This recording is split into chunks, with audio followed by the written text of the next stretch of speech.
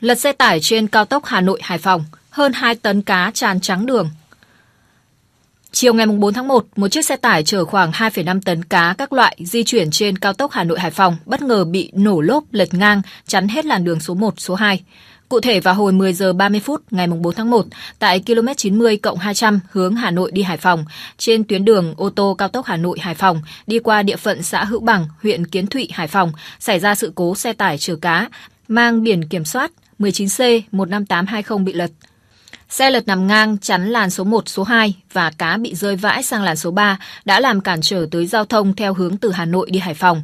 Ngay khi phát hiện sự cố, Trung tâm điều hành đường ô tô cao tốc Hà Nội Hải Phòng đã cử lực lượng tuần đường và thông báo cho đội 2, phòng 8, cục cảnh sát giao thông, đơn vị cứu hộ tiếp cận hiện trường, phân làn đảm bảo an toàn giao thông và giải quyết vụ việc.